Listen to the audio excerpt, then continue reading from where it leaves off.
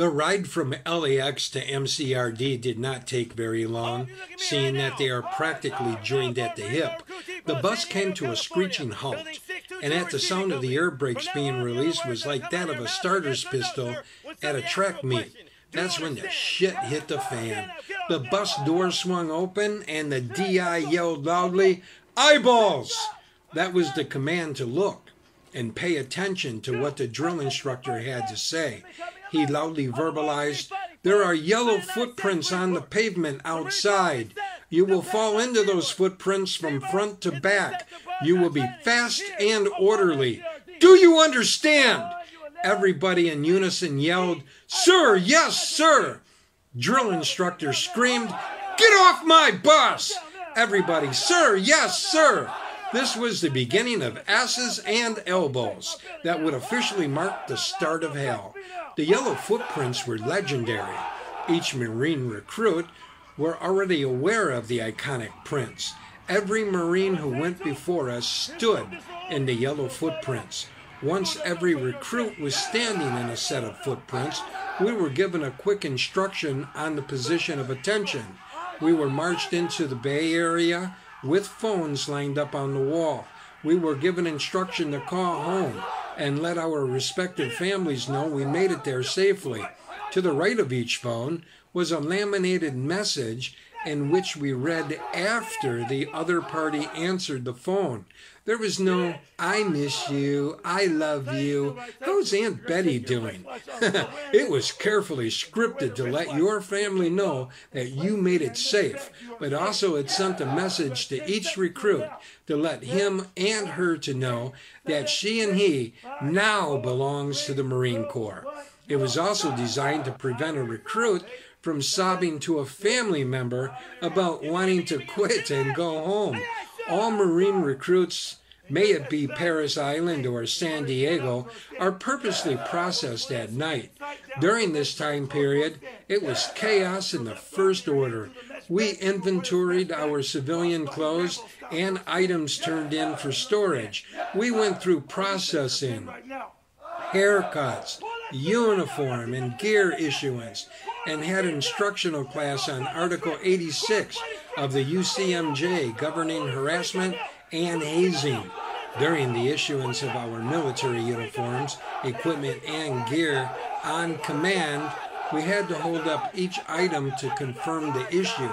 Once confirmed, we were then instructed to place the item in our sea bag.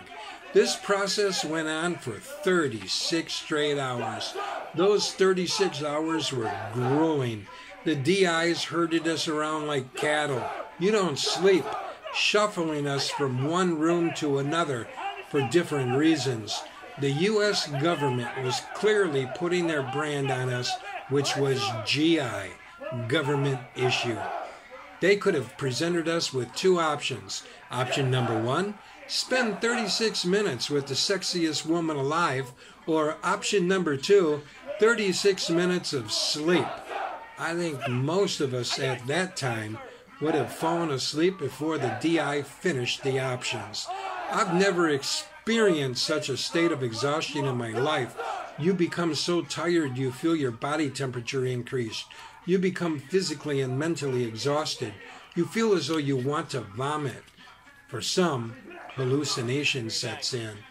The lack of sleep is what I refer to as a dumb drug. It plays a critical role in your ability to think, learn, and reason. It impairs attention, alertness, concentration, and problem solving. Yet, those 36 hours, you don't have time to overdose on dumb. Not without the DI on your butt. It adds to anxiety and depression. Each is a tool in which the DIs will use to emotionally and physically break a new recruit down and rebuild him or her into the greatest warrior the world has to offer. It is also known truth that Marines boot camp is by far the hardest of any U.S. standard military training. If anyone says different, you just ask them if they finished out their contract with their respective branch of service and if they wanted to join the Marine Corps. if they would be required to go through Marine Corps boot camp. The answer would be a resounding yes. A Marine would not have to go through another branch of services boot camp. The reason is also obvious. Once we were ushered through the maze of hell, we were marched over to the receptions barracks. It was time to sleep. I was sleeping before my head crashed into the pillow. The next morning, the alarm went off. It was time to wake up. Our gracious hosts, the DIs, began throwing metal trash cans, shaking, and flipping over racks with us in it, screaming things that would make the Pope blush. They were pounding on anything and everything that could make noise. We didn't have watches. I'm sure we only slept for a couple of hours. We all found ourselves standing in the showers. There'd be six recruits standing under one shower head. There was no time to be shy.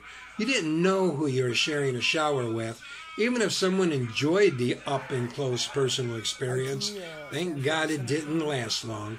I remember my first shower being three seconds in duration. It was so quick, I don't think the water even had time to get wet.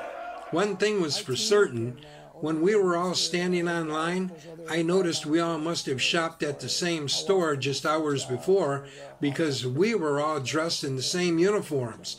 I was so tired, I didn't even remember it. We spent the morning policing and cleaning the head. That's bathroom for civilians and the squad bay. Once our living quarters were squared away, the DI marched us over to the mess hall. I could not wait until we are going to sit down and have our first delightful meal on the U.S. government.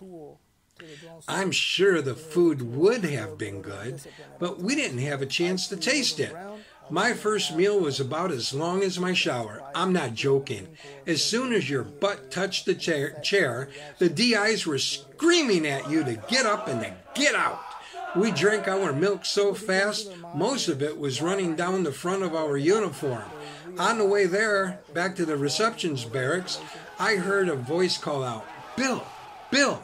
There was only one person in all of California who knew me by the name of Bill. It was my friend Dan Johnson Harrington. We both had worked in radio broadcasting together before joining the Marine Corps. He was finishing up boot camp and I was just starting. After I survived boot camp, he asked me, Bill, didn't you hear me call you? I confirmed that I had, but told him I was too disciplined to respond. Truth is, I was too scared. The last thing I wanted to do was stand out. The DIs would be all over me like a swarm of psychotic bumblebees.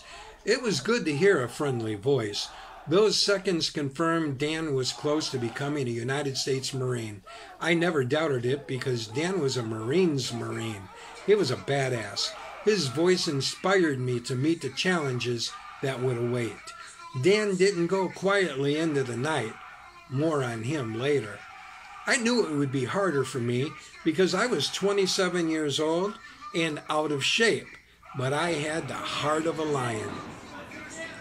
Once we had returned to the receptions barracks, that lion turned into a domesticated cat. I could have just laid down and whined. The entire barracks was trashed. Every bunk bed in that squad bay was flipped over. The mattresses were spilled all over the floor. Laundry soap, sand, towels, footlockers tossed everywhere. It looked like a hurricane went through it. You were lucky if you got back your own gear and issue. It was chaotic. The DIs began screaming while running up to you, getting into your face, launching saliva on you from yelling all the while we were trying to get the place back in order. We danced to fuck fuck games the entire time we were assigned to the reception barracks. I was confused. Even though I knew receiving was preparing us for training, I had actually thought it was our training. I had thought we already started boot camp, and these were our drill instructors. Wrong. Just before tap sounded would mark the end of another day in hell. One of the DIs announced, Girls, Tomorrow you'll be starting training day one and you'll meet your drill instructors. I began thinking, what the hell? You mean this whole week was for nothing? I was too tired to concern myself with it. I'll just sleep and see what tomorrow brings. Must work hard to strengthen your body, your spirit, and your mind. Be proud of yourself and the uniform you wear. Above all else, never quit or give up. We offer you the challenge of recruit training and the opportunity to earn the title, United States Marine.